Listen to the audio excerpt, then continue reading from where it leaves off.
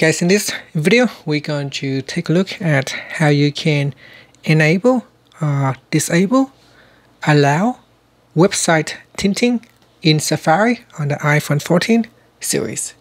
First, let's go back to the home screen by swiping up at the bottom of the screen. And on the home screen, tap on Settings. In Settings, swipe up to go down. And in here, tap on Safari Next, we go down and tap on Allow Website Tinting. So tap on the toggle button to switch it off, uh, turn it on. After that, you can tap on the back key to go back to settings or swipe up to go back to the home screen. Once you turn on the website tinting in Safari, uh, from time to time, you may notice the top bar here will be blending with the website color. And that's it. Thank you for watching this video. Please subscribe to my channel for more videos.